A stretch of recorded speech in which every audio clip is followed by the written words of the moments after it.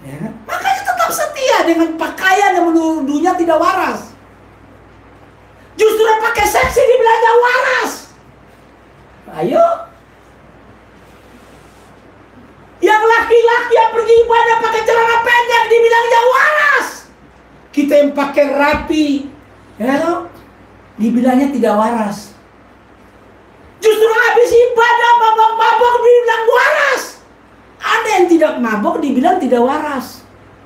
Ada yang tidak merokok dibilang tidak waras. Ya.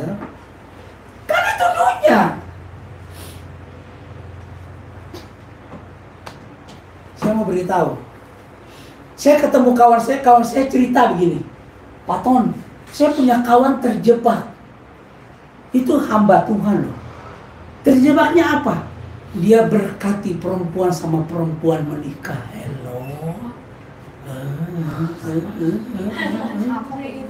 Itu terjadi.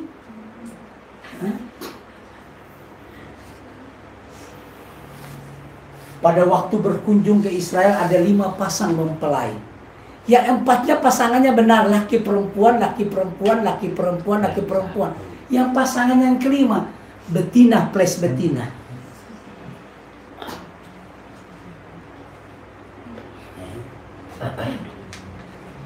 Tidak bisa membedakan mana laki-laki, mana perempuan.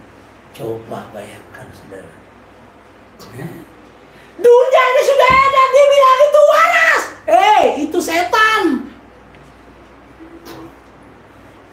Kawan saya kan difitnah sesuatu yang tidak benar. Jadi sampailah ke saya lalu saya telepon dia.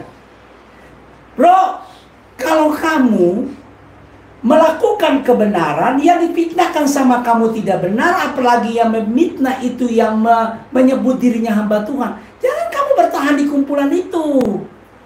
Saya bilang sama dia, yang punya usulan supaya Yesus disalibkan siapa? Hei, imam-imam kepala dan ahli-ahli Taurat. Siapa itu imam-imam kepala? Kalau sekarang kita bilang apa? Seperti ketua-ketua sinode. Itu imam kepala, imam besar. Nah. Kemudian imam-imam kalau sekarang kita bilang apa? Gembala-gembala atau pendeta-pendeta itu loh. Mereka mencari cara bagaimana menyalibkan Yesus. Saya buka pikiran dia oleh Roh Kudusnya. Kemudian saya bilang, "Hei, kawan dengar, Yahweh menyebabkan berita dusta sampai hari ini sehingga orang Yahudi percaya bahwa Yesus itu belum bangkit tapi mayat jadi curi siapa? Dari imam-imam kepala dan ahli-ahli Taurat yang menyebarkan berita dusta dan sampai hari ini orang-orang Yahudi percaya. Nah. Saya mau beritahu, banyak pendeta jadi pendusta. Dari mana kita tahu dia pendusta? Khotbahnya tidak sesuai firman. Ya kan? Dia jadi pendusta. Kalau khotbah dia sudah tidak sama dengan Paulus, dia pendusta. Kalau baptisan mereka sudah tidak sama dengan yang dikerjakan oleh Paulus, mereka pendusta. Pendusta.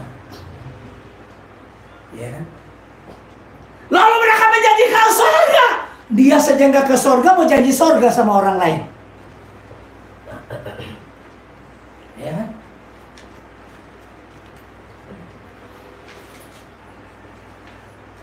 Paulus bilang ke surga, dia ke sana. Karena dia bilang dia telah mencapai tujuan akhir dan kepadaku telah tersedia mahkota kebenaran, mahkota kehidupan. Bukan saja bagi dia, tapi bagi saya dan saudara yang percaya.